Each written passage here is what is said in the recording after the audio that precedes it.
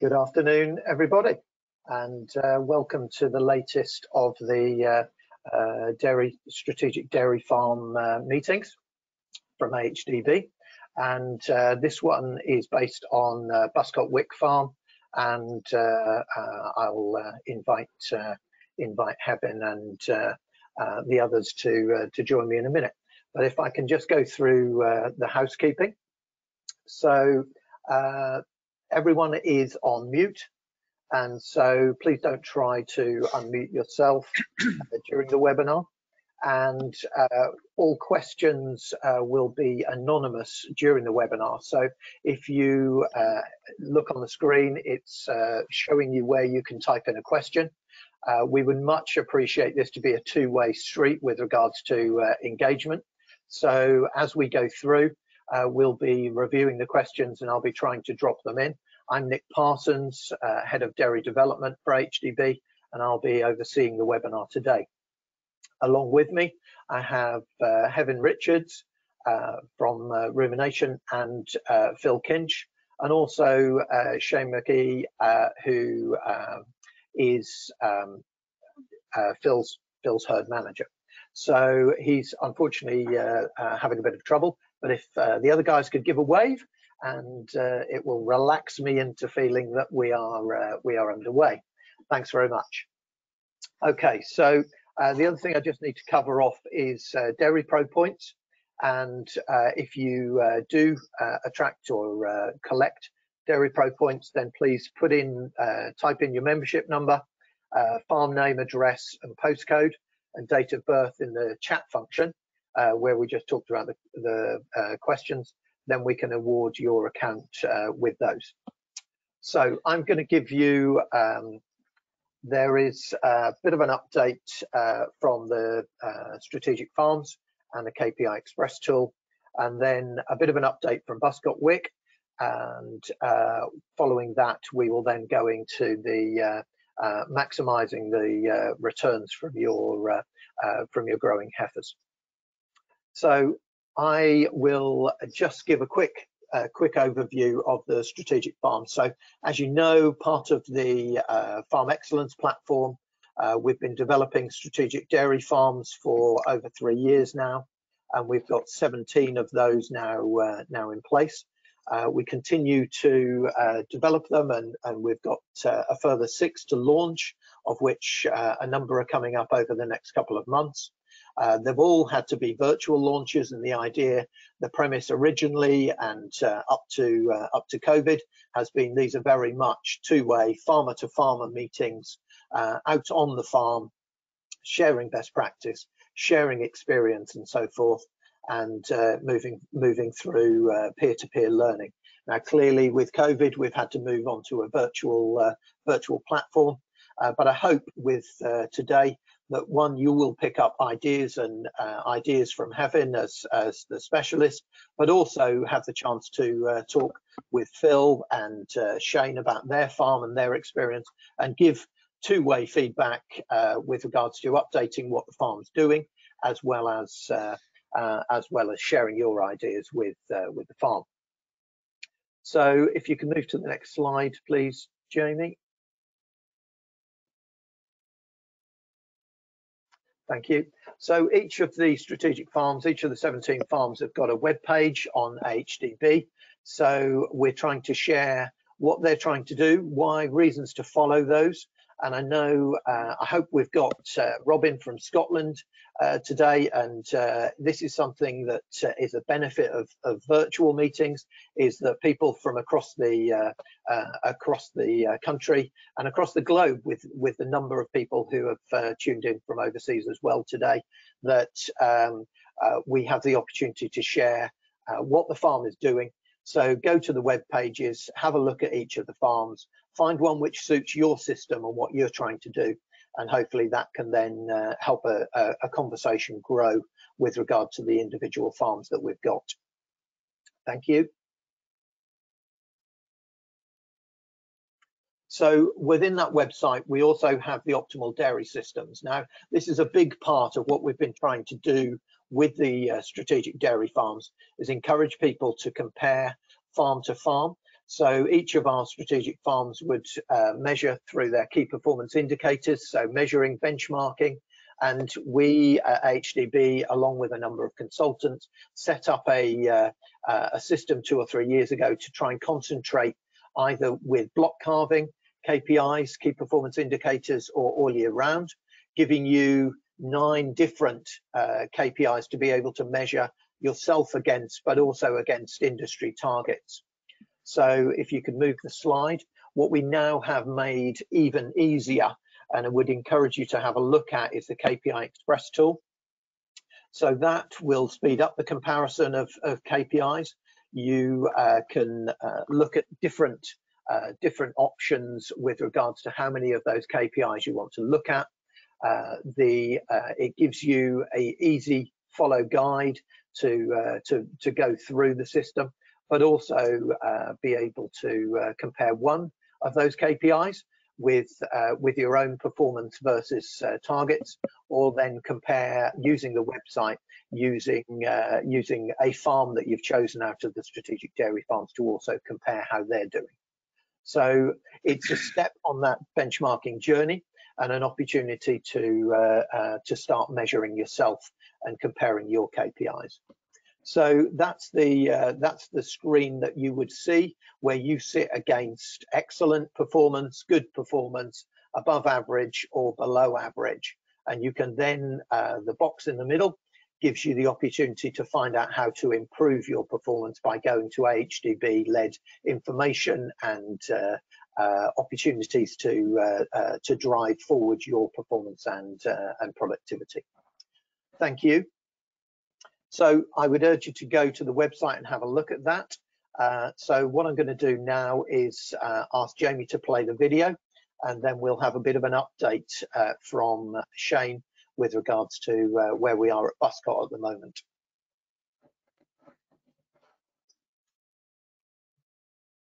I'm Philip Kinch we farm at Buscot Wick Farm in Oxfordshire, and we've got a, a tenanted uh, Oxford University farm here with a dairy. So we've got a, an autumn block calving herd here. Uh, we're on gravel, so uh, summers, especially like this, the grass can dry up very quickly. So uh, autumn block works well for us. We've crossbred over the last 15 years, and in that we've we've got Swedish red, Norwegian red, Danish red, Fleckviehs, brown Swiss, bit of Jersey that they've gone now, um, and a Montbéliard or two. We've targeted of seven and a half thousand to eight thousand litres as our as our target production. The farm here is 770 acres, of which probably 500 is committed to the dairy. Uh, we've we've got a grazing platform that's in a ring fence here, and then outlying grazing for young stock and dry cows on river meadows. So we've got a lot of low grade, uh, unimprovable pasture that we need to try and make value from. Um, and then some reasonable paddocks uh, through the through the middle of the farm that we can graze efficiently.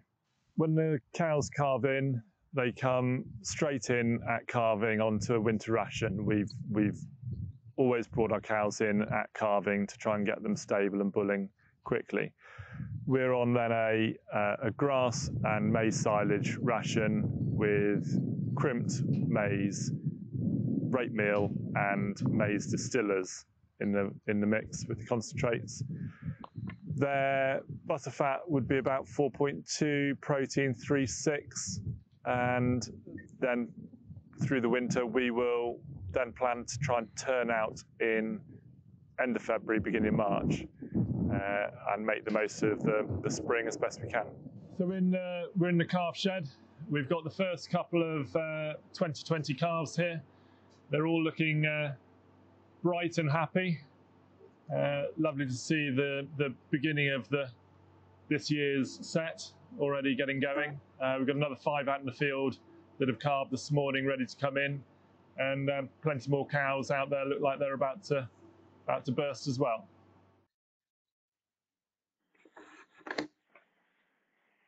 That's great. Thank you for playing that. Now, hopefully, if Shane is uh, unmuted, uh, Shane can just give us, uh, Shane's the uh, herd manager at uh, Buscot Wick uh, on behalf of uh, Phil Kinch. Uh, Shane, if I could ask you just to give us a bit of an update uh, around uh, how the farm's running at the moment, please.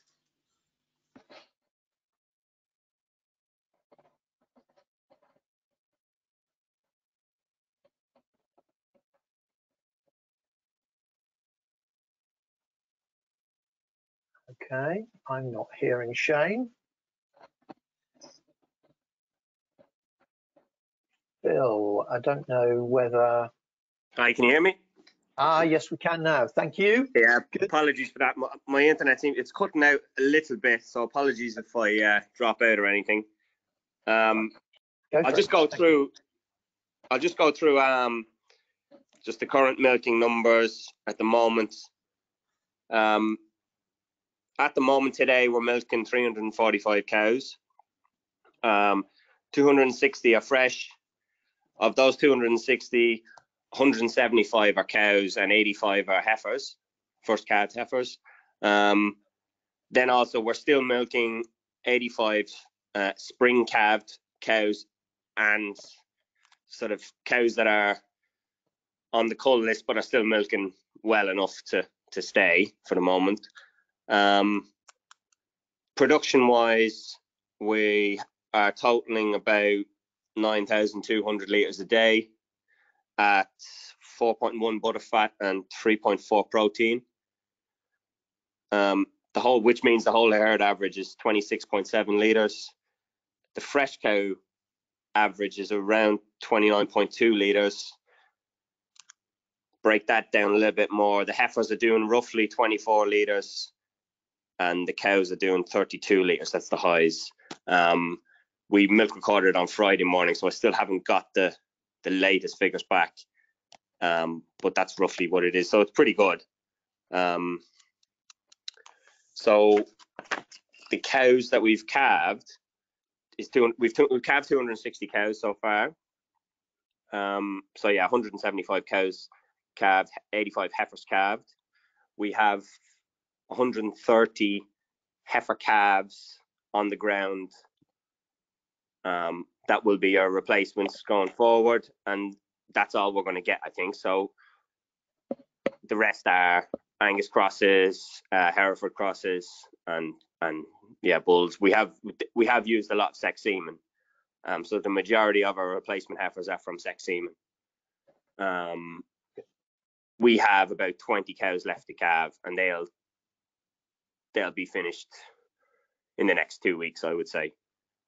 Um, we have 150 heifers to AI. Um, we start AI in in three weeks. Um, as far as calving, it went very well. I was very happy with it. We had some issues with milk fever. Um, we're still having issues with milk fever, but the cows are bouncing back very well. They're, they're up and running. They're milking very well uh, from the get go. So um, very happy. And as Phil said in his video, yeah, as soon as they calve, they're in, um, and they're on a high performance ration.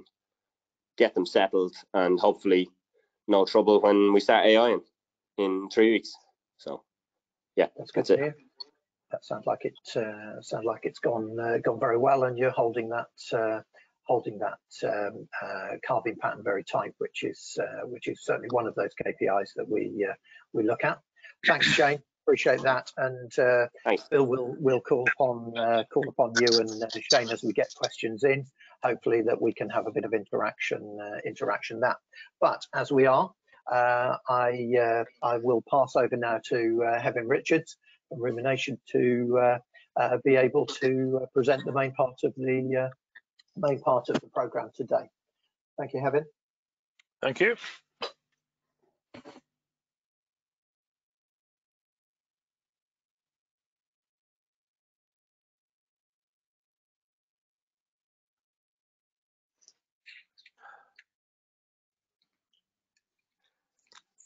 Good afternoon, everyone. Uh, hopefully you can see a slide. Yeah, we can. Okay. Right, so, um, oh, sorry. the uh, the theme today is maximising return from growing heifers, and uh, looking specifically here at Buscot Wick at an autumn block calving herd. However, a number of the the areas where we're going to discuss would be equally applicable to all year round calving herds. Um, I think one of the key things with the block calving herd is that there is there is no room to to get it wrong. Uh, it's critical that animals do calve in at two or slightly below. Um, whereas in, a, in, an all year round calving herd, there might be uh, a, a, view that there's a, a, another chance. But I think you know it's a good discipline to have, uh, and therefore most I think of what we're going to talk about is every bit as applicable to an all year round calving herd as a block calving herd. So when we look at um, the, the issues around heifer rearing and the economics, well, uh, Dr. Alana Boulton's work, um, the RVC back in 2015-16, uh, where they surveyed uh, 101 farms looking at uh, the economics of heifer rearing on a range of systems, some block calving herds, predominantly all year round, uh, but then also looked at the, the, the payback, the time to payback from when those animals calved in and uh, you know there was very very significant range here from uh, sort of the the first lactations and in some herds the payback was within lactation one. The vast majority was well into lactation two and in some herds um, it was in lactation three four and even beyond at the extreme. So either way if we look at this the mean was about one and a half lactation so when we bring a heifer in, we've got we've got to make sure that she hits the ground running and every bit as importantly stays in the herd in order to to pay back that total rearing cost. So the mean time here was was 530 days, um, and you know one and a half lactations on before we'd got to pay back on the rearing cost. So there's two aspects there. One obviously is the cost of rearing, uh, factoring in all costs, opportunity cost, overhead costs, and obviously variable costs. And then secondly, the productivity of those animals post calving. So when we talk about heifer rearing efficiency, well, what kind of things are we looking at? So I think age at first calving is a fairly easy metric um, that a lot of people have now got their heads around. Um, we tend to talk about averages, which can be dangerous. Um, but again, you know, an average gives us a starting point, but then we also need to look at the, the percentage that fall within a target acceptable range. So we may have a 24 month average, but we may have um, some animals that we're calving very young uh, in order to, to, to make up for animals which are slipping through uh, and therefore calving much later. So we could be we could be running between 20, 21 months and 27 months, uh, and we have an average of, of 24. So it's a bit like when people look at calving interval, um, the, the, the range can can tell us a lot more than the actual average, but average gives us a starting point, and then we should definitely be looking at how tight the range is around that. Obviously, in a block calving herd, the priority is to get animals calving not only in the block, but really at the start of the block. Um, it's it's good to be able to start off with heifers, particularly when we're we're using sex semen and breeding heifers from heifers. So again, that sort of not only looks after this season, but it also ensures that the uh, the crop of calves that we'll be calving in two years' time have, have, have, hit the ground at the start of the block. And obviously, you know, we want to allow, if there is any slippage in fertility in subsequent lactations, that animals remain in the block. So where we're trying to maintain a nice tight block, then it's absolutely imperative that animals recalve within that block or they inevitably are culled prematurely. So calving at the start of the block is a key uh, requirement for the heifer rearing enterprise in terms of efficiency. Mortality and culling along the way. So looking at losses, enforced culls, very often these are down to reproduction um, and certainly losses would often be at the calf stage. So again, I think this is a key efficiency to look at in all systems is how many heifers that are born actually make it into that first lactation uh, and then beyond. And then we look at reproductive performance. So again, in a block calving herd, this is really critical because when we when we hit that day uh, where we want to get animals in calf, it's it's really imperative that we get a good lot in calf in that first three week window. So, you know, heat detection, preparation, service technique, consistency of diet, all of these things will play a part. Uh, but again, in a block calving herd, the stakes are even higher than they would be in an all year round calving. So submission rates need to be high and conception rates need to be managed uh, through good techniques and good nutrition and management pre and post service. Target weight at service and at calving. So this is a real uh, efficiency factor that I think we've really got to get our heads around as well. Uh, reducing age at first calving has been quite a big um, a big push in recent years, and people have often achieved this. Um, in some ways, it's relatively easy to achieve. Uh, the danger is that we can sometimes then compromise um, the, the, the performance of those animals because we've we've gone in and calved them younger because that's the the aim and the KPI that we're aiming for. But we've compromised on on live weight at first calving, which will have an impact on production and uh, potentially survivability as well. So I think it's very important that we when we're, we're, coming back to to calving younger and certainly in a block situation calving at around 24 months it's very very important that we make sure that we're hitting target weights right the way through the process so that we're hitting that target at service and calving an animal in uh, as we need it to be. Cost obviously comes in, so cost from calf to calving varies tremendously. Uh, generally, block calving herds, the costs are somewhat lower. A uh, number of reasons potentially for this. One, I think possibly because we're, we're rearing calves and heifers within uh, tightly uh, aged groups, which which means that we can target nutrition and management more closely rather than in an all year round calving herd, particularly uh, a, sort of a more moderate sized all year round calving herd where there tends to be a big spread of ages at every stage. So block calving herds do seem to have a, a, benefit there, uh, and but they vary tremendously between farms and depending on uh, largely performance, but also mortality uh, and also the actual cost of managing feeding, uh, housing and, and, and, handling those animals from calf to calving. So cost is, is definitely worth scrutinising, but uh, achieving targets is probably the most important thing uh, in order to get the overall picture. And then finally, milking herd performance and survivability into lactation 2 plus.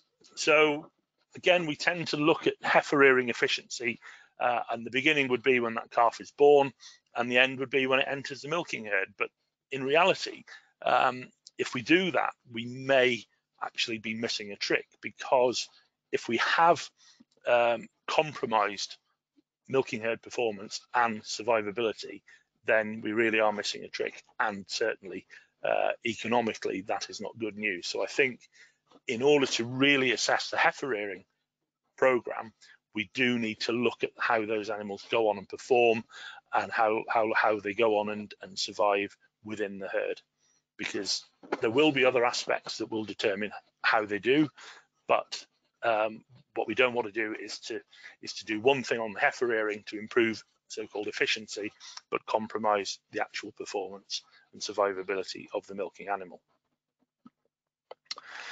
so the key stages, and I think it's important with this kind of process to break down into key stages and look at them individually. So the newborn to weaning, so things like colostrum intake, so, so important, absolutely critical in terms of not only performance, but health and sort of survivability. Then looking at the milk or calf milk replacer, the, qu the quality of the product fed and the quantity being fed. Is that really fit for purpose? So scrutinize what you're doing in relation to uh, what you're achieving. Daily live weight gain, that is the gold standard measure. If we can weigh, we can then assess, are we achieving what we need to achieve? If we're not, we can then break it down, look at what may be compromising um, the performance and hopefully take steps to put that right. Weaning weight, that gives us a really good indication of how effective the calf rearing regime is and, and then determines what sort of animal we've got to go from there on. If we've got good performance at calves, in my experience, it's quite easy to continue that. And we have animals that have got thrift and will continue to perform at a high level. If we've got compromised performance pre-weaning, very often then we, we, with performance on individual animals or with groups from there on. Health is critical at this stage, and again, a lot of a lot of the health issues come back to colostrum intake and, and management in those first few hours and days.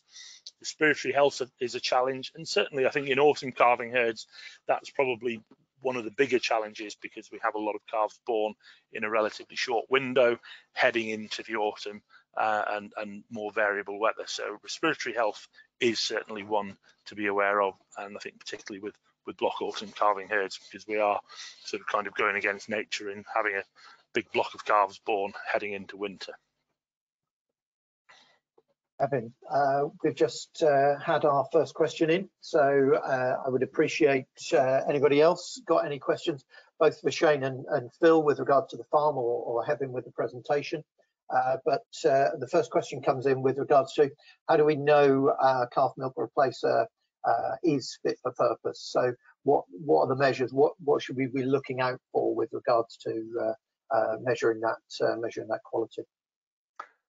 Well, I think it's it's a matter about using looking for for a product which has got some some some support and some data behind it. So we're looking for a high level of dairy protein. The young animal will utilize dairy protein more efficiently than than, than any plant-based protein. So we don't want to see high levels of plant-based proteins. Um, but we essentially I think we need we need to look at a product that we can work with that's got support, it's got evidence behind it with clear guidelines in terms of uh, feeding programs, and then ultimately on individual farms, you know, the measure is in performance. So there are a multitude of products out there with people are achieving uh, good, bad, and indifferent results. So I think it's in some ways a matter of finding a product that works within your system, but really it's about looking at good quality dairy-based protein um, with products which are consistent and reliable and, and are supported by the suppliers who will stand by the performance of their products. Thanks. Thanks, Adam. So the next key stage is weaning through to, pre-breeding. So um, this is quite a critical stage, certainly getting them through weaning. It's a fairly major change nutritionally. Uh, we tend to have group changes. We have other things going on, vaccinations, disbudding, etc. All happen within a relatively short window. So a smooth transition through weaning uh, again is is the aim. So maintaining starter intake, trying to maintain that daily live weight gain as close to close as possible to where it was pre-weaning. Um, very often there's a tendency to try and move on to perhaps cheaper feeds, in my view, perhaps too quickly, rather than just just really focus on this smooth transition. Uh, get rumen development. We want uh, an animal to develop its rumen so that it can utilize forage effectively. Um, again, it can be a mistake to be introducing and relying too much on forage too soon because the rumen development isn't really there. Um, and in many ways, it's better to get that rumen development and then really capitalize on the animal's ability to utilize forage from there on. So gradual changes weaning to pre-breeding, maintain that daily live weight gain on a diet increasingly based on forage. Uh, the reliance on forage will depend on forage quality. So again, um, you know, we tend to think, oh, well, that's heifer silage there. It's not good enough for milking cows. It's second grade. Okay, it may be, it may be suitable for heifers, but it may also need balancing up and, and supplementing in order to achieve the daily live weight gain that we need. So again, forage analysis is the starting point. It gives us an indication of whether that forage is going to deliver what we need it to uh, and enables us to balance the diet around it. But secondly, measuring, weighing, assessing daily live weight gain will validate the, the, the, ration performance. So if we're not achieving daily live weight gains, we need to adjust feeding and not wait until it's too late to try and pull it back. Dry matter intake is important, so things like feed space, feed hygiene, availability, comfort of eating, you know, as animals, you know, when we're dealing with growing heifers, they are growing, so they're getting bigger. So what may be adequate room when they move into a pen, uh, you know, months, two months later, they're significantly bigger animals. So suddenly there's more pressure on feed space, etc., uh, etc. Et Concentrate use. So again, targeting that around the forage quality uh, and, and feeding something which is suitable. So if we've got a low protein forage, then it's it's not good economic sense to use a low protein concentrate. A higher protein concentrate may be more expensive, but equally it may allow us to feed less of it um, because it will be a better balance for the forage there. So there's a tendency to perhaps to, to, to go for cheaper options when it comes to heifer feeding. But if we're looking to really get this performance, with animals that are converting feed very efficiently. Young animals are efficient converters of feed into into tissue, so that's something that we need to bear in mind uh, and, and, try and provide a diet which is suitable uh, and will achieve the sort of the target of 0.8, 0.9 kilo a day at this critical time. Obviously, in a block calving herd, uh, grazing uh, is is an opportunity. There are two good grazing opportunities, and this is one area where cost comes down in, a, in, a, in an autumn block calving herd. Calf rearing is done over winter. The young animals are housed over winter. They're then grazed through the first summer, housed, put back in calf, and then um, and then obviously graze in the second season. So there are two two opportunities to get a significant amount of grazing in there. But again, where we're looking at a target-led approach with consistent daily live weight gains, grazing management has to come into play as well. So there's a tendency with young stock to sort of put them in a paddock and forget about them. Uh, again, we need to just assess, is that achieving what we need to achieve? Are we compromising growth rates by not managing grazing well enough? Do we need to supplement perhaps some of the younger, smaller animals? Do we need to group? Do we need to just monitor what's happening uh, season to season because weather conditions, grass availability will have a huge bearing on what level of growth we get through that grazing season. And obviously with the block calving herd, at the end of that grazing season, we're fast approaching the point of service. So any any deviation from target in the grazing season can be catastrophic in terms of service weight. Just before you move on, sorry, having uh, questions are coming in now. Um, a question on uh, elaborating on the dry matter intake, if we can, uh, just uh, uh, whether we can just stretch that out a bit to uh, to understand a little more about the target for calves and also yeah. level of protein um, level of protein target for those those coming off uh, weaning. Um, yeah. If we could, thank you. Um, in, in, terms of protein level in concentrate, there's there's always quite a bit of debate. Um, I mean, in the states, for example, they, they, they tend to feed significantly higher levels of protein than than, than we generally would. Um, and I think in reality, what we've got to do is to strike a balance between providing enough good quality protein to promote uh, lean tissue growth, but at the same time, bear in mind the cost of additional protein and the marginal gain, if any, of overfeeding protein. And of course, we've got to consider the environmental impact of that as well.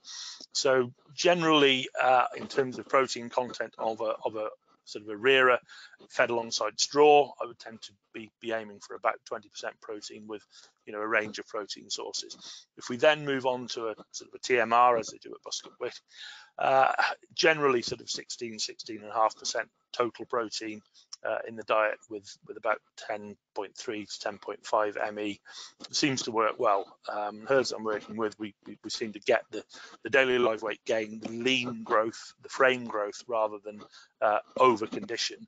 So protein is important, particularly where we've got low protein forages. So more mature grass silages or whole crop or maize, for example, if they're used, they must be used with care. Starchy concentrates can uh, over supply energy and, and, lead to excessive body condition, um, but at the same time, not promote the frame growth we need. So protein quality can be reduced as the animal gets older, uh, as the rumen becomes more developed and, and sort of protein is effectively upgraded within the rumen, but the younger animal, uh, higher quality protein is beneficial uh, and then we can move more to rely on the forage based protein uh, and, and, and, other products such as rate meal um, as they grow older. So forage quality is the starting point. As with the milking cow diet, we look at the forage quality, build a diet around that. We need to have the same mindset with, with rearing diets as well. Thank you. And just touch on the dry matter intakes. Um, Sorry, calves, yeah. would we be looking at chopped straw? Would we be looking, what would what would be your your favourite, at the calf stage, there, there seems to be a, a, benefit from incorporating some chopped straw in in with the starter. That seems to stimulate intake. Um, what we're looking for with straw really is not to, to, have a high intake of straw, but to have just just a, a very moderate intake of some fibre, which will then just just sit there and develop the rumen alongside the concentrate. Um, intakes from there on, we would generally be looking probably two and a half to three percent of body weight. So again, as the animals grow on, it's important to, to keep them on a, on a truly ad lib diet. Problem is, if we don't do that, we'll we'll tend to find variation between the more dominant and the the more um, submissive animals within the group. So uh, you know, if, if feed is running out, and unless we've got really adequate feed space for all animals to eat at once, then um, we do need to ensure that they are truly ad lib. Otherwise, the smaller animals will tend to, to not be able to meet their requirement and the larger animals will will. So in, in, in, in essence, with these younger growing animals, uh, it's important to keep feed in front of them so that they can all have a chance to, to meet their intake requirement. That's really useful. Thank you. So coming back to the rearing costs, I touched earlier on on where the sort of the numbers were sitting in the the Boulton et al. survey from 2015. So you can see the herds that were were, were surveyed, 73 were all year round, um, and you know the, the, rearing cost there was higher than the, the the block calving herds and the multi-block. So we were looking at sort of 1900 for the average of the all year round, whereas the autumn block was down nearer 1500. So quite a significant saving, largely I believe because the block calving herds would tend to be um, probably dare I say better managed than the average all year round. It's not saying that there are some very, very well managed uh, heifer rearing operations on all year round herds. However, there would tend to be perhaps a little bit more leniency in terms of age of calving. Um, block calving herds are block calving because they have chosen to be. They haven't just gravitated into block calving herds. So there's a very clear uh, definition and a very clear sort of target approach. So uh, it'll be very much age at calving will be very tightly managed, obviously, because they're calving in a block. And like I say, there are other economic gains as well in terms of the, the, the sort of the scale of the number of animals coming through as a group, and obviously the opportunity then to graze effectively over two seasons as well. So the good news here from the block calving herd system is that you know there is scope to reduce heifer rearing costs, but it, equally, if you're an all year round calving herd, you need to scrutinise heifer rearing costs and look at how you can get down to these sort of numbers because it clearly can be done. The other significant theme that came came out of that particular survey was the impact of age at first calving.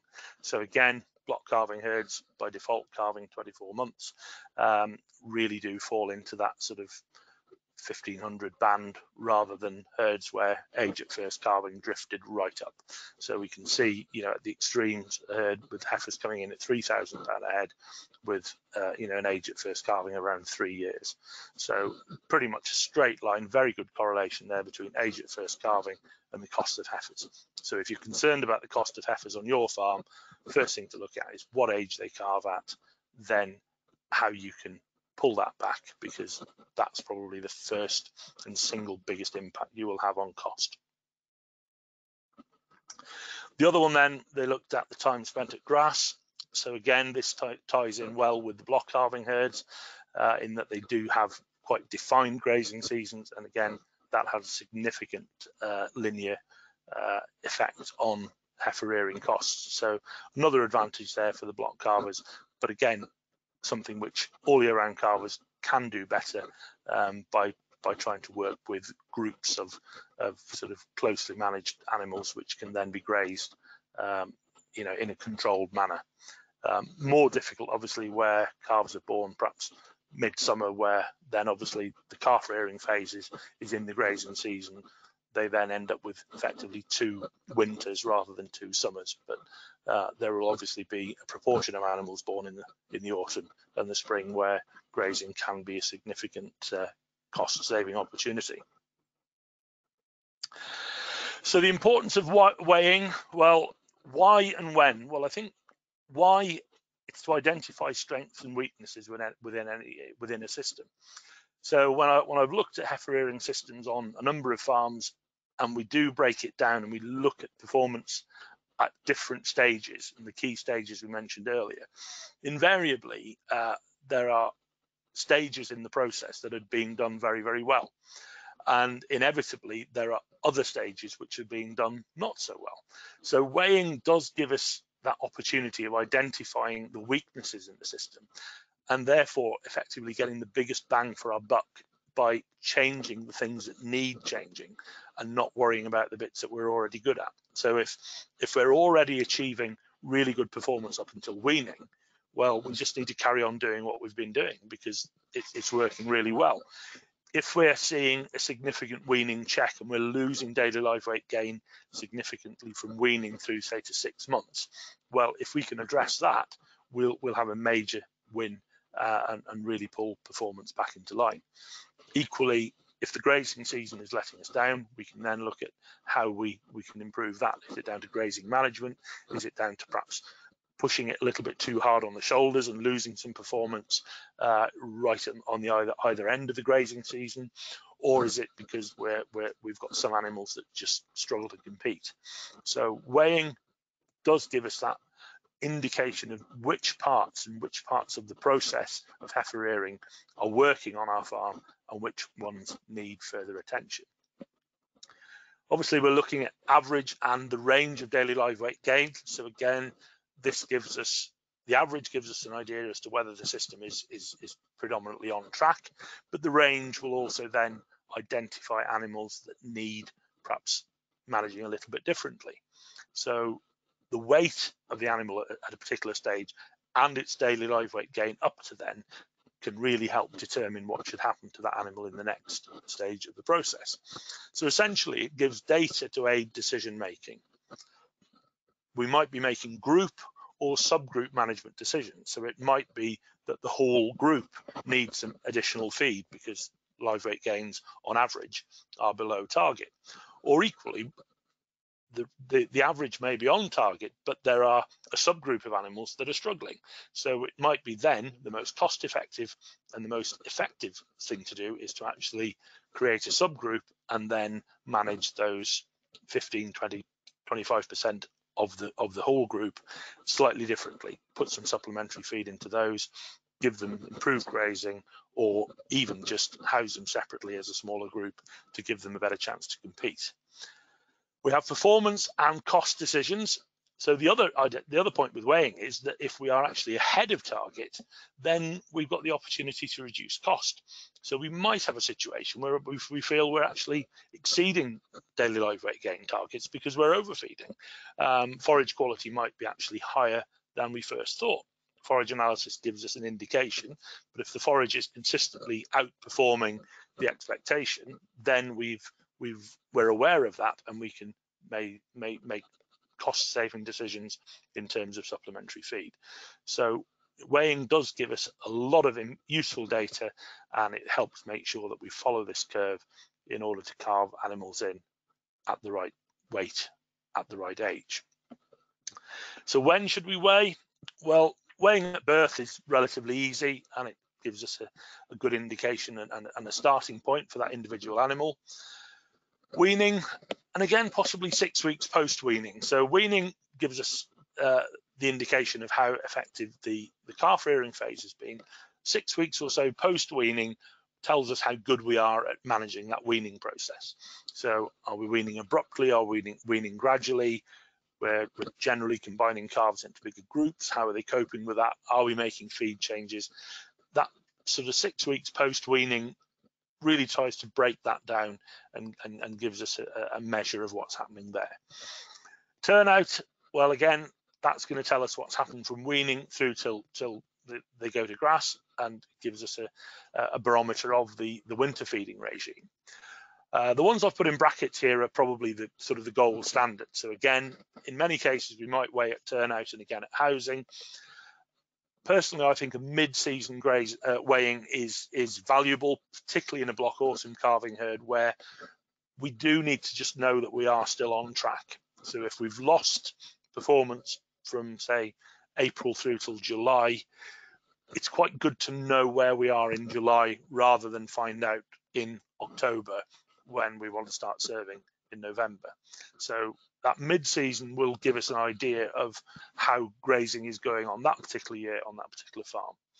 So the housing is generally relatively close to the breeding phase, and then it may be combined with the pre-breeding weight. So, so those two could well be combined. We've got the animal in calf. So again, we're, we're going to weigh at turnout, possibly mid-season, and then at calving, because that tells us whether we've achieved our target or not. So there are a number of key points there where I think if we weigh at those points, we can then assess how we're performing. Are we delivering the best performance when we need to? Are we in a situation where if we improved uh, performance at grazing, we could make further savings on, on feed costs when the animals are housed? These are all things which may come to light once you've got some data and, and some information to work with. So I'll hand over to Shane now, who will just talk us through the sort of calf and heifer feeding regime at Buscot Wick.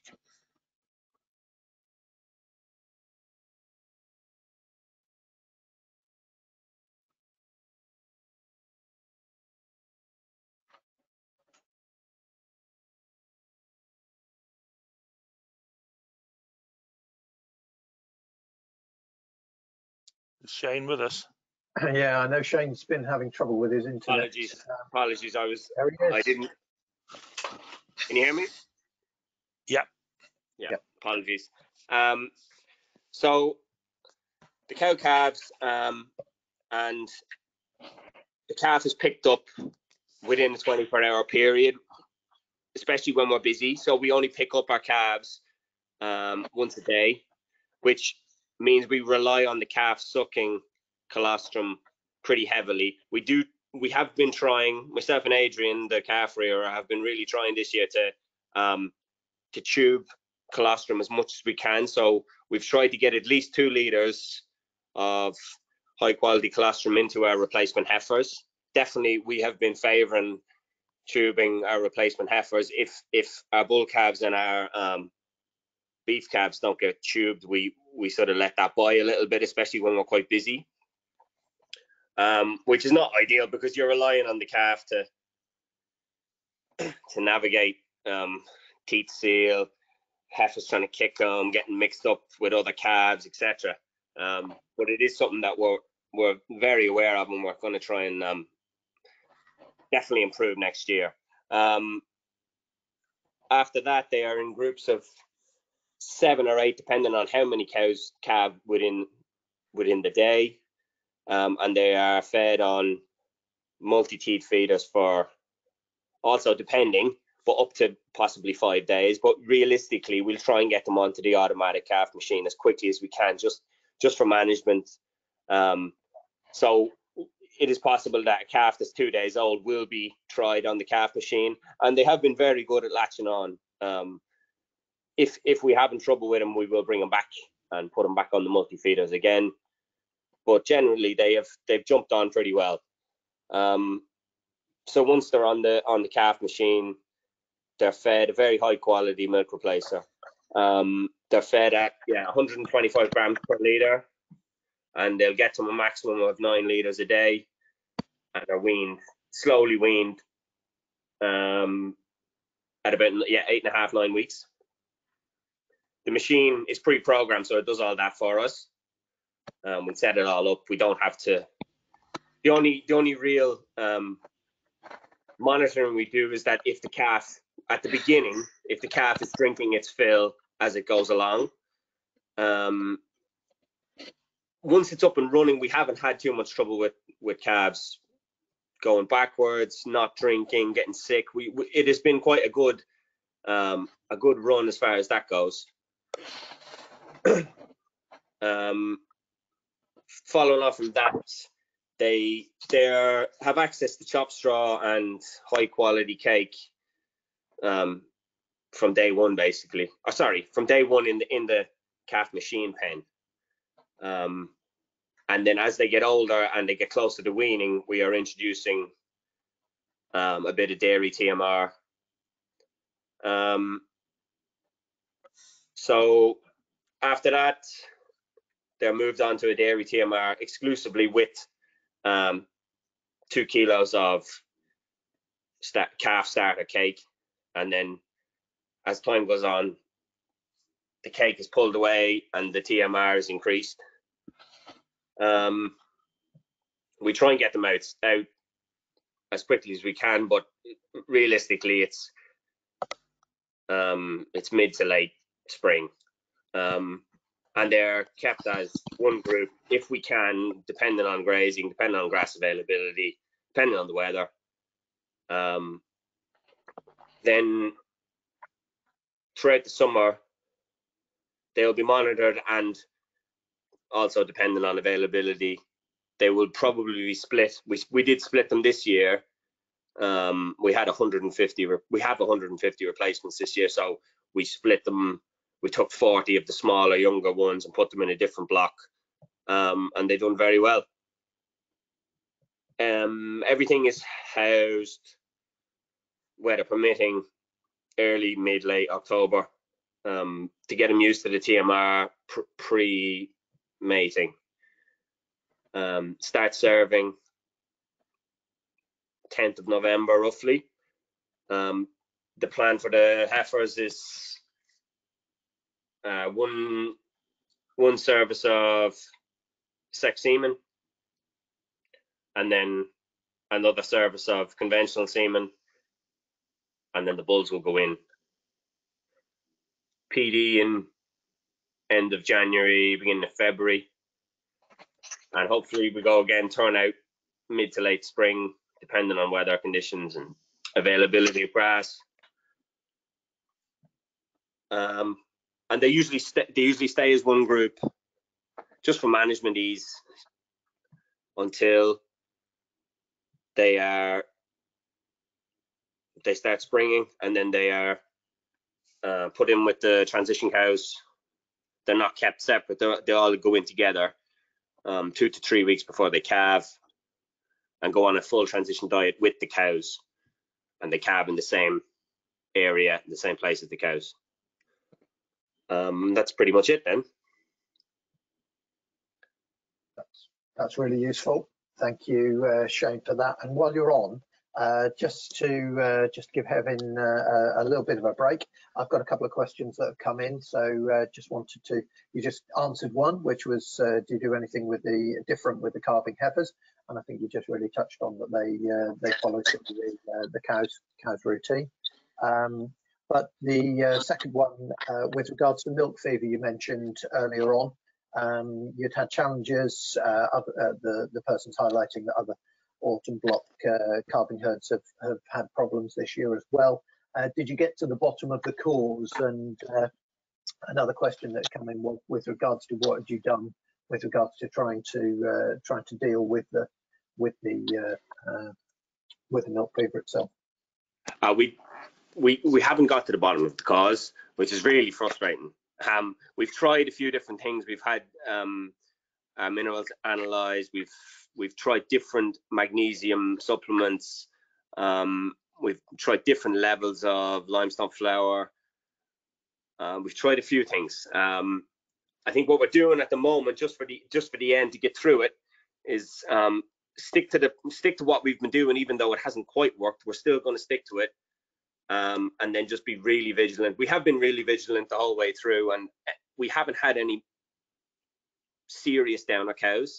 Any cows that have gone down, they've they've bounced back up very well um, as soon as we get to them, and we're just we just have our, our eyes in the back of our head for any cow that looks a bit wobbly and she just gets um, calcium under the skin, or any any suspect cows that we're thinking, yeah, she looks like a candidate. She will just get a bottle of calcium under the skin, no questions. Um, and that's that's basically how we're trying to stave it stave it off. So that's useful.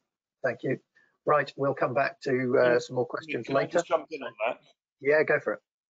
Um, so I, I, think one of the things which affected autumn blocks more this year with milk fever is uh, we we calve everything outside, and that's that's one of the challenges, or one of the things we we wanted to do with the autumn block was to try and calve outside, but it relies on those cows loafing on effectively barren grass fields, which normally in a an average, if there's such a thing, average English summer, our fields would not have a, a lot of grass on them at that time of year.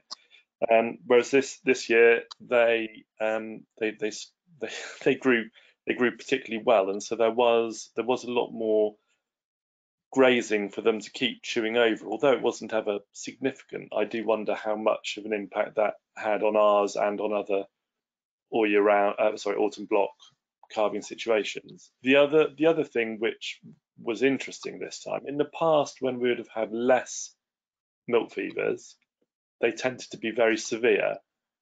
Um, whereas this time, although we had more than we've had previously, and I, I, I wasn't happy with the numbers, the severity was relatively light. They they they were they were caught very quickly and they bounced back um, very well. So um, it, it, was it was frustrating, but it was it was all credit to Shane and his team. They dealt with it incredibly well. Yeah, thanks, Phil. That's uh, that's useful, and that kind of tags on and, and uh, uh, supports and, and feathers out a bit further. Uh, Shane's Shane's view as well. We've got more questions coming in, but I'm conscious of time, so I'm going to hand back to uh, Hefin to uh, carry on. Thanks, Hefin. Thank you, and I think Phil probably hit the nail upon the head there. I was going to just add in very quickly on that milk fever. Uh, I, I, think what we what we had was quite a strange season in terms of grass growth, with with very limited grass growth early on, and then some rain, which meant that we got a flush of grass um, and, and an uptake of potassium. Which uh, so even even in a situation with dry cows where they wouldn't appear to have an abundance of grass, obviously what they are doing is grazing it as it grows uh, and with a luxury uptake of potash, then it's a, it's a very very fine line, and and that I suspect is probably the root of the problem this time. Whereas you say you'd normally expect sort of July August to have some pretty dry bare pastures, whereas we had that in sort of April and May, and then uh, a, lot more grass later in the season, even in the drier parts of the country. So just um, coming back to to the sort of the overall heifer rearing appraisal. Um, I visited the farm a few weeks ago, got some data, and then started to dig and to look at perhaps uh, try and break it down in in some ways that haven't been done before. So obviously we're here now. We're at the end of the 2020 calving block, but it's it's probably too early to, to make any real judgments on those. So I went back to the 2019 group and just looked at what happened there. So um, these were split into month of calving, so August 19, September and October, obviously uh, very heavily weighted in terms of August, the beginning of the block. So 57 animals calved in August, 28 in September and 12 in October. So I think we can say the 12 in October are effectively outliers. They're, they're there because they, they gravitated to that point as opposed to being there because anybody wanted to calve uh, 12 heifers in October. So essentially the August calving were right at the beginning of the block. September were animals which sort of drifted on uh, into the latter part of the block and the October were the outliers. So uh, looking at the age at calving, uh, quite understandably, the August ones were 23 and a half months. So the September just over 24 months. So, you know, literally three weeks older. And then the October uh, 25 months, so uh, sort of a one and a half month or six week uh, range in average age, depending uh, ranging from the August to the October calvers. Um, 305 day milk yield was taken from the CIS recording. The herd records monthly with CIS. And in, in, in many situations, the 305 day milk yield is perhaps a little bit of an old fashioned and, and not particularly relevant metric um, where lactation length varies. But I think in a block calving situation, it is it, it is quite a relevant figure because essentially that lactation at 305 days is to all intents and purposes over and done with because in in if things have gone to plan the animal will be going dry and preparing to calve back in again. So looked at milk yield on 305 days uh, of the august and the september and the october calvers interestingly, the August calving animals averaged 6,929 litres. The September calvers averaged some 500 litres more at 7458. The October calvers had gone back down and were down at 6784. So what we've got here was actually quite a significant milk yield improvement between the August calving heifers and the September calving heifers. So we'll park the October ones for now, but I'm curious really, um, and, and, sort of having spoke to Phil uh, and, and Shane about it the other day, just to try and identify areas why that may be. So the other aspect that we then wanted to look at was was how many were culled or were barren. So there might be a tendency to think, well, the higher producing heifers in a block calving herd uh, may be working too hard and therefore might struggle to get back in calf and survivability would be affected. But certainly in terms of this 2019 crop of heifers, uh, the opposite seems to be true. So in reality, of the 57 uh, August calving heifers, there was a pretty serious uh, amount of wastage in terms of culls and barrens, i.e. animals which haven't calved back in a second time. So 15 animals uh, didn't make it through, which was 26.3% of the August calving heifers. Admittedly, it's a small sample and, and we're, we're, literally talking about half the number of heifers calving in September, but uh, according to the CIS records, only two of those have not been in a position to recalve, i.e. culled or not recalved. So 3.6%. Interestingly, the older heifers, so that we don't get carried away that this is an age thing and therefore the older the heifers, the better they go on. When we get into the October ones, uh, the, the, the average loss bounces back up, albeit on a smaller sample, to 25%. But I think the the really interesting and, and slightly concerning figure for me here was um, a the August calving heifers produced less milk, which is an important factor to consider, particularly in an autumn block calving herd where you know that early lactation milk is generally at the highest milk price of the season.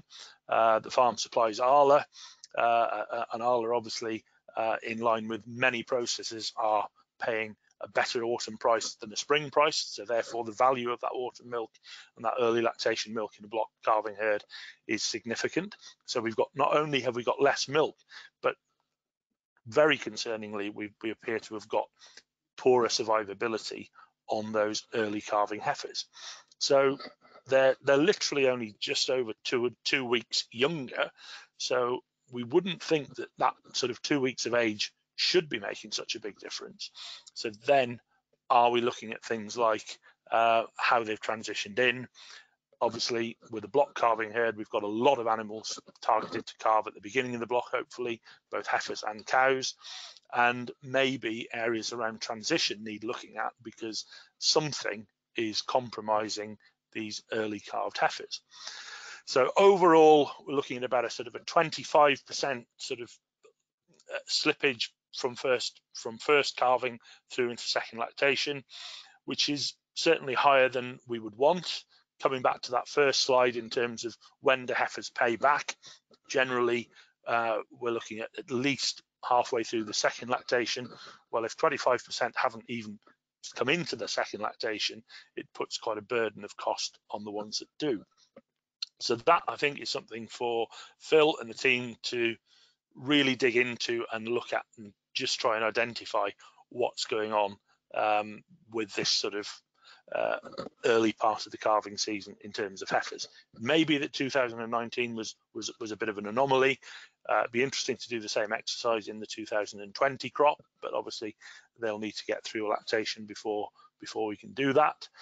Uh, historically, then decided to look back went back to the sort of 2016 and the numbers were pretty consistent really so 75% of the heifers that calved in 2016 uh, were milking in their second lactation the following December.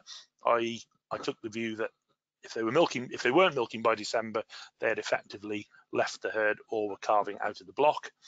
Uh, 2017 was slightly better at 72%, 18 76, and 19 uh, at best we'd say is 79 because it'll all depend on uh, whether any any any of those animals have any issues around calving or haven't yet calved in. So we are looking at, you know, more heifers not making it into second lactation than we'd really want. Uh, and that is a significant cost. And it's one that we do need to really consider in terms of the heifer rearing efficiency. So looking at the performance uh, and, and, what was going on there. Um, so the two the two graphs here I'm sorry, the, the, the, sort of the scale on the axis isn't isn't really clear to you, I'm sure. But basically, on the uh, on the left hand side, we're looking at milk yield, kilos a day, and then days in milk. So days from calving, we've got the lower line uh, here, if you can see the mouse, which is the the sort of the, the, the predicted lactation curve for the August calving heifers, and then the same on the lower graph for the September calving heifers. So what was quite clear was that the August calving heifers, as we expect with heifers, had a very, very flat lactation, but generally sat at around 25 litres. They're really sitting in between that 20 litre and the 30 litre bracket, very much through until uh, this sort of 200 days. So here we're looking at about 200 days. Um, so we're, we're looking at 30 day blocks. So the August calving heifers really just sat there at about 25 litres as an average. The September calving heifers were generally sitting at about 28 litres. They dropped off a little bit there, uh, 150 days plus. Bear in mind that they would be obviously a little bit further on, uh, having calved a month later, but they would. It would appear there that certainly through 150 days, they maintained about a three litre per head per day gain. So that was quite significant, and it sort of showed that that that difference that we we saw at the end of 305 days uh, was was not really just a, a, a, blip. It was a very consistent thing that was seen through the winter. Bear in mind, all these animals are fed TMR. There's no individual parlour feeding, so there's no question that any animals had any preferential feeding. It would just be a matter of what they were able to eat and, and where their performance came in. So again, as I said earlier, averages can be misleading. So this one looks a little bit noisy, but essentially what we've got here, every dot is an individual individual animal uh, and, and every sort of block is a recording. So this tells us at any milk recording through the year, however many days in milk that animal was at, what was its milk yield. So the August animals, what we are seeing here are a significant number of animals in this sub 20 litre bracket, which is definitely not where we want them to be.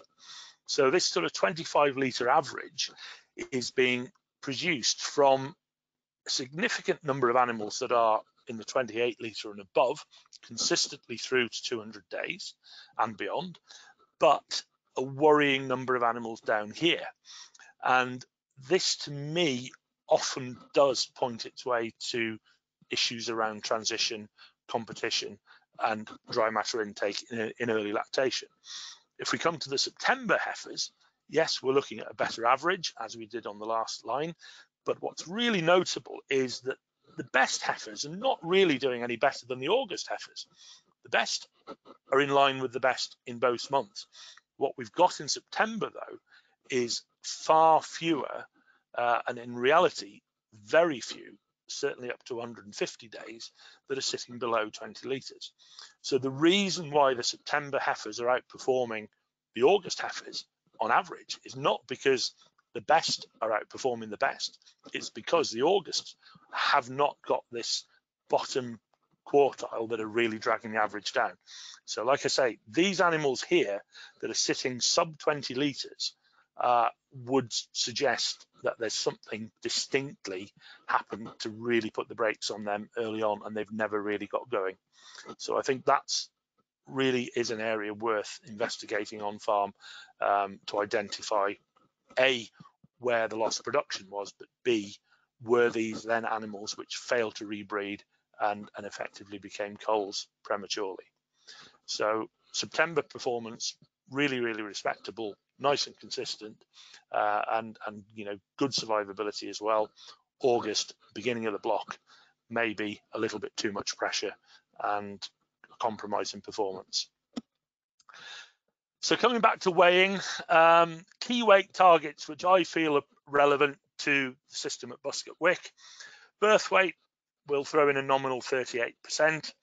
We talk about targets of doubling weight by weaning. So I think that should be a minimum target. I think if we can exceed double, that is even better. And I think if anything, I would prefer to aim for two and a half times birth weight. So it'd be nice to get these animals up to about 100 kilos at weaning in the majority. They won't all get there, but if it, I, think that, that, the target should be a minimum of doubling birth weight by weaning, and, and possibly if animals are not doing that, then weaning could be delayed a little further in order to get, give them that little bit more chance. With turnout sort of expected to be around April from the mean calving age, we would want to get from 100 kilos up to 220 kilos by turnout. So that will give us a good, well-grown heifer to go out to grass, an animal that should be fairly robust in terms of grazing. So it's going to stand a few wet, miserable days and, and should be in a position to graze aggressively and achieve good grass intake. So live weight gain targets there up to weaning of about 0.9 on average, and then continuing certainly above 0.8, 0.85 from weaning through till turnout. Achieving that is is is really down to a smooth transition off milk through weaning, good nutrition, good housing, and good health through that first winter. From turnout to housing, well, if we can achieve 0.75 as an average, that will give us a 370 kilo heifer at housing. Uh, in the case of Buscot Wick, uh, service is relatively soon after housing, so the numbers aren't significantly different there. And we'd be looking to try and maintain that sort of 0.75 to 0.85 through that winter on the heifer TMR, really focusing on growth to have a 500 plus kilo animal at turnout and hopefully a 600 kilo animal at calving. So as a percentage of mature body weight, 12 months, which would be around here, we're looking to, to be 50% of mature weight as a minimum, um, and then 90% of mature weight at the point of calving. So those are sort of some key indicators really based on what happens on this particular farm in terms of when they're born, when they're housed, when they're turned out, etc. So what I, if we, uh, sorry. Sorry, apologies. Uh, can I just jump in? I've got a couple of questions. It may be relevant to uh, you being able to answer them, uh, Hefin. If not, yeah. Shane, maybe uh, you'll be uh, able to come back. But um, the grazing management, uh, grazing management on the farm, is it set stocked or strip grazed? sorry, Nick, say that again, please. Yeah, that's fine. Uh, what's the grazing management? Are you set stocked or strip grazed, um, sell uh, cells, or how do you how do you work?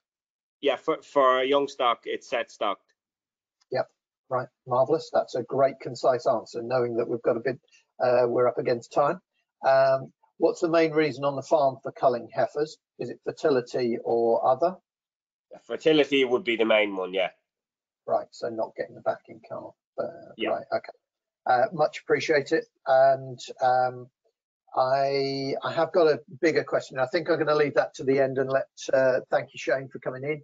Uh, I'm going to let Hefin press on uh, for approximately another five, five, max 10 yeah. minutes. So we've got yeah, some time for questions at the end. That would be yeah, brilliant.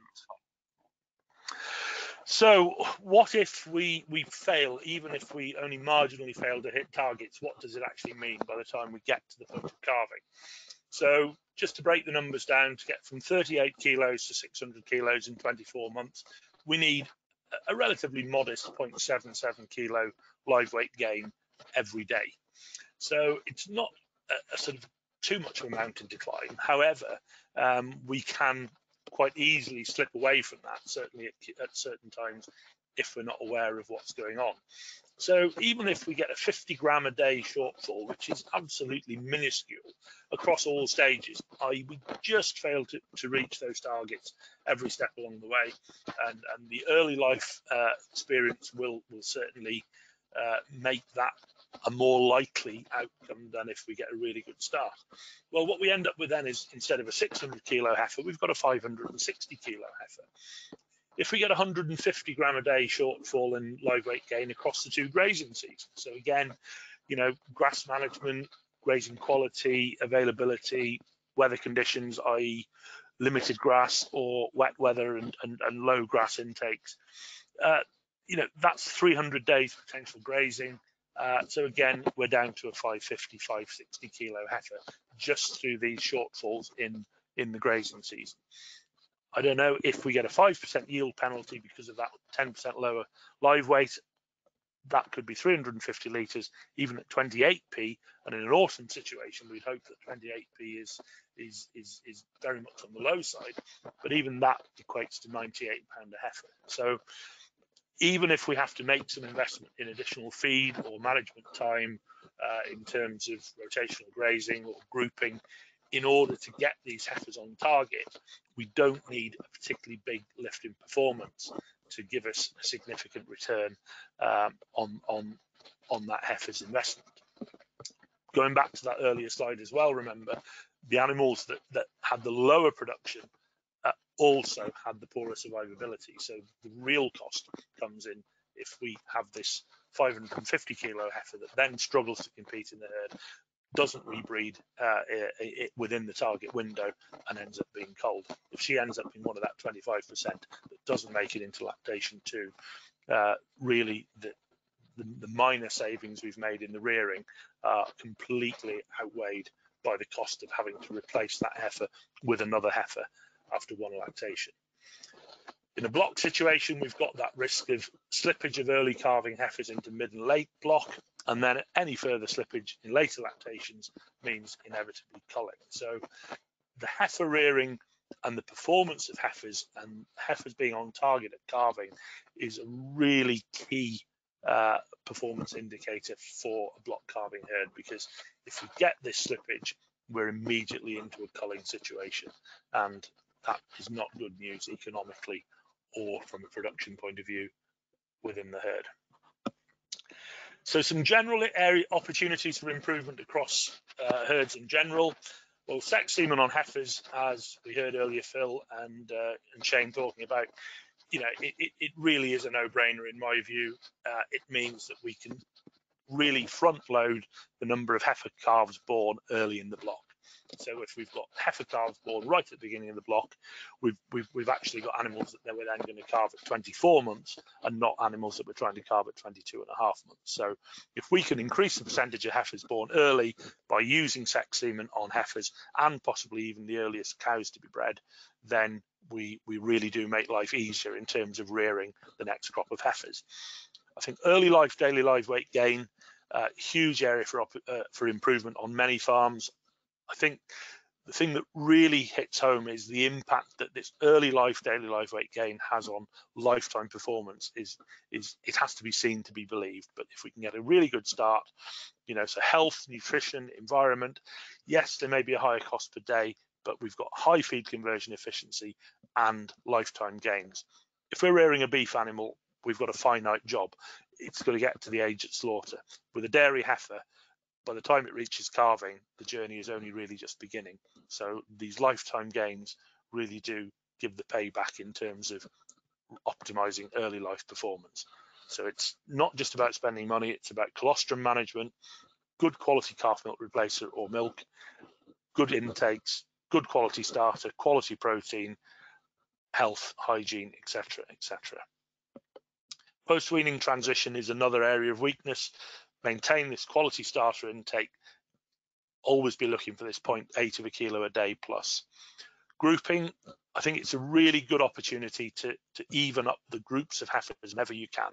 So if you're weighing, use that as an opportunity to regroup uh, according to size and performance because it's incredible how the poorer performance will catch up if they're given the opportunity perhaps in a in a lower stocking density group uh, with animals that are more evenly matched to their size.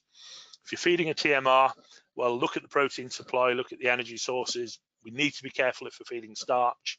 Uh, minerals and vitamins are important. Look at the overall cost. Sometimes we can take a convenient option, for example, using the milking TMR.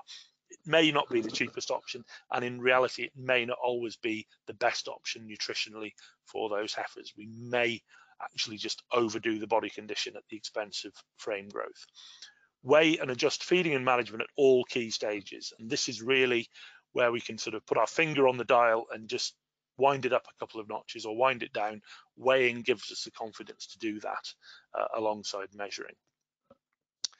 So some specific recommendations that I would make following a, a brief visit to the farm and a look through some data uh, and a chat with Phil and, and Shane.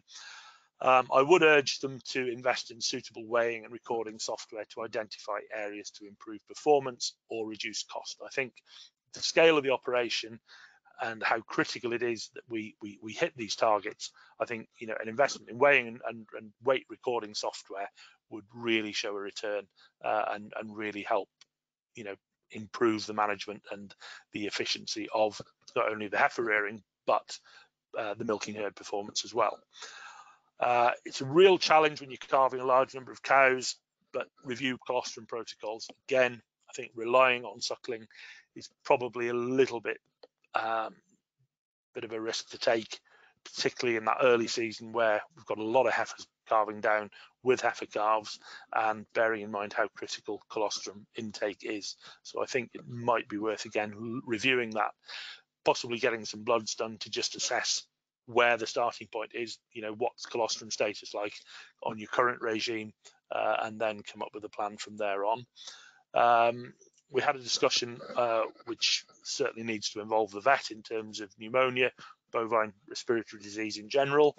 And again, I think this is something perhaps worth looking at and investigating by looking backwards at animals that have perhaps failed to perform uh, in the milking herd, failed to rebreed or didn't grow particularly well, and just look, is there any link there between uh, individual cases of respiratory disease in the rearing phase as well. There are herds where they've carried out that sort of investigation that it gives them a very clear indication indicator of uh, the impact of respiratory disease on later performance. So I think this is something worth looking at.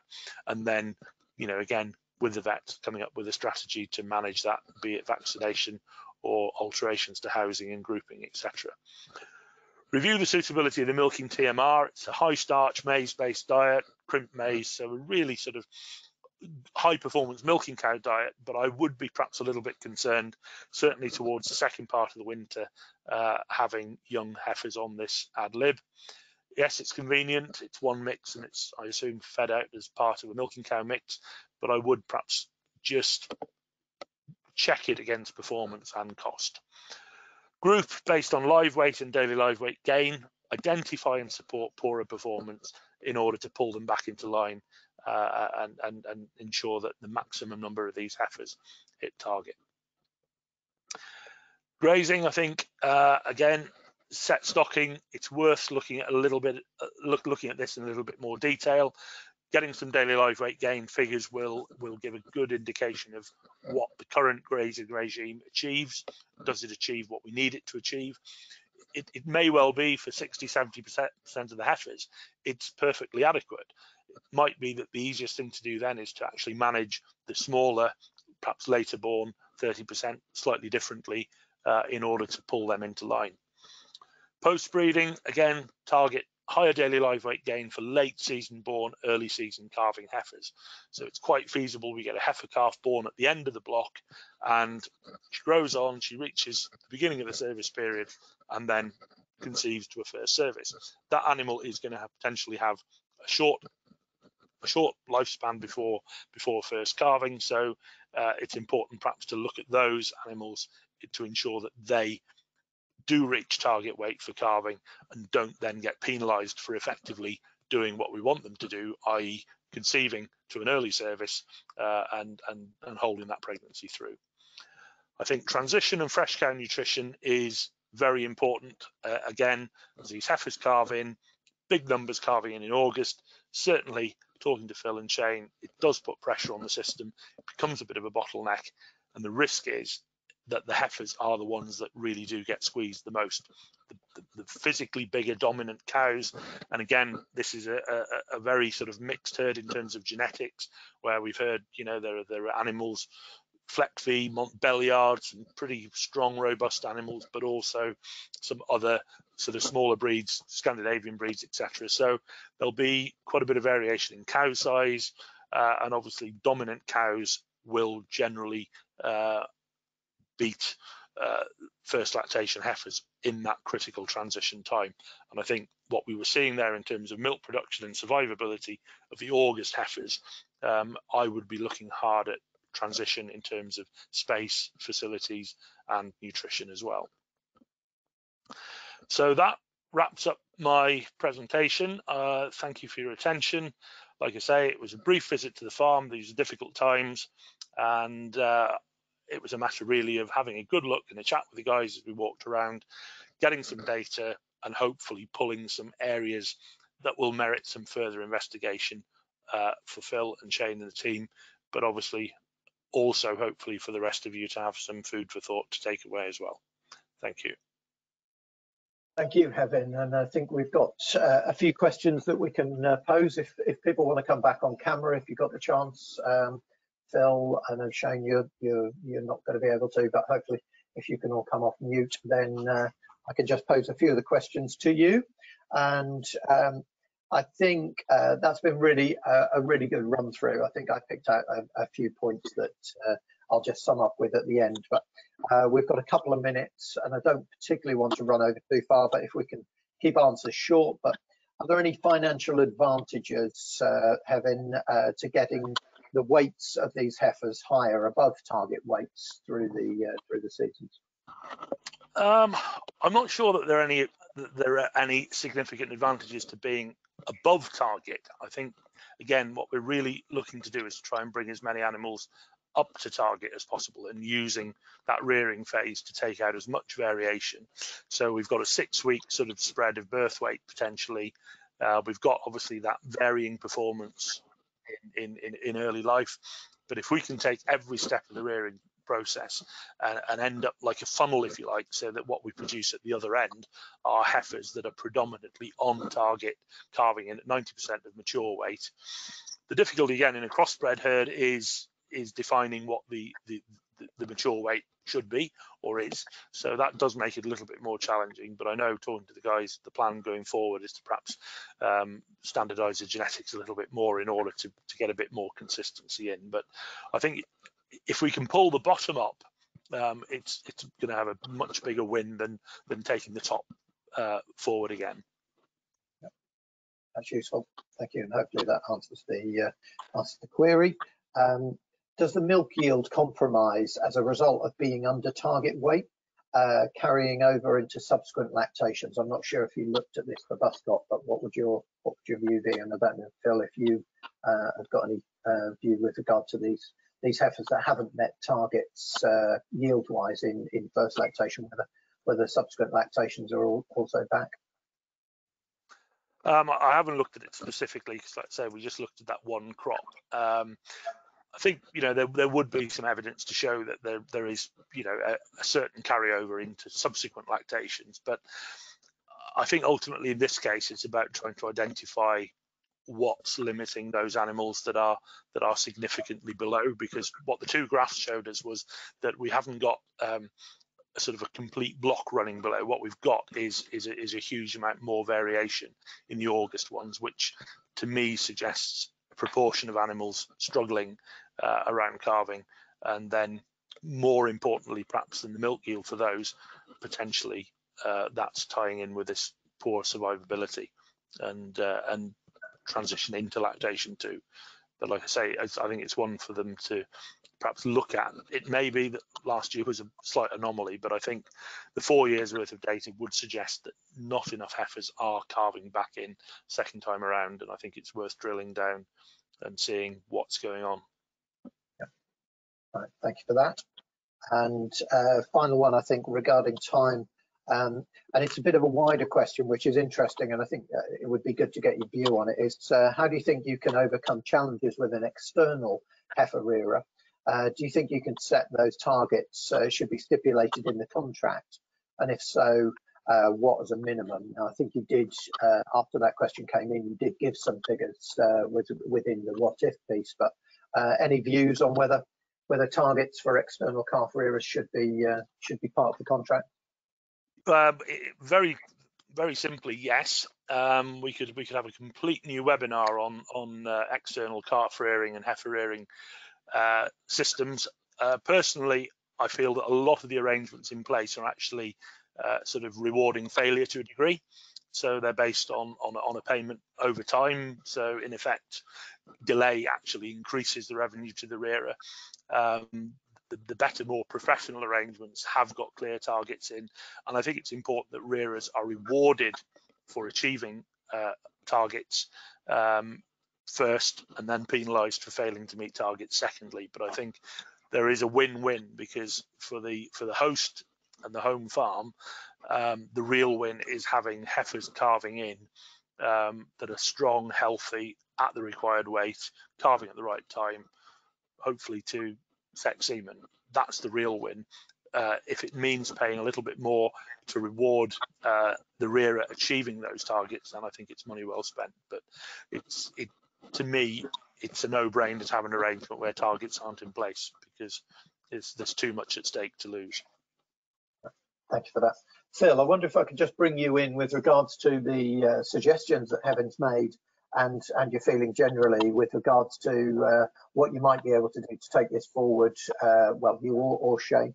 Uh, one last comment before we uh, wrap this uh, wrap this up. Thank you.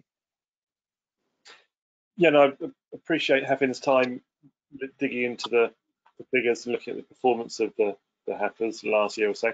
I think we'll Shane and I'll probably spend a little bit more time probably going back a little bit further, um, see whether or not it's something that we've consistently had, um, or if it was a one one year.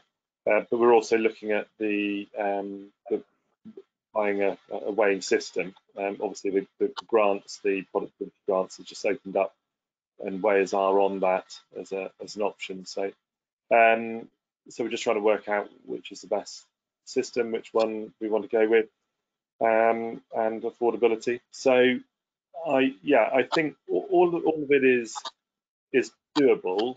Um, I think I mean, Shane's been on a very steep learning curve since joining us um, back in the in the spring, and it's not been an easy year with with with all the extra restrictions we've we've been under. So um, so yeah, it, it's it's I, am delighted with how we've how we've got to where we've got. Um, and it's it's nice to have some proper focuses on, on where we go forward. So uh, much appreciated. That's great to hear, and hopefully some of the feedback and some of the questions today also uh, uh, feed into that discussion as well. So I'm going to have to wrap it up there. Thank you, uh, Hefin, uh, Shane for your input, and uh, and of course Phil for for supporting the Strategic Dairy Farm platform as we go forward. Now I've got. Um, a couple of dates. Um, we've got a launch happening with the Scottish uh, Strategic Dairy Farm, uh, Wallace and James Hendry. A spring block calving herd is happening on the 28th of October. Um, we've got a dairy quiz, which is slightly uh, uh, adrift from where we would usually uh, be working, a slightly more light-hearted, trying to lift the spirits through these COVID times. that's arranged for the 23rd of October. If you look at the website, you'll be able to find the details and be able to uh, uh, sign up for that.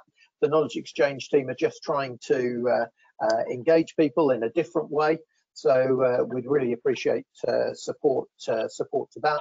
That's on an evening, just to have a have a have a drink and a bit more of a light-hearted rumble around some of the questions and and uh, around dairy. So that's something else that I would uh, encourage. That's 23rd of October at 7.30. So I'll wrap up there.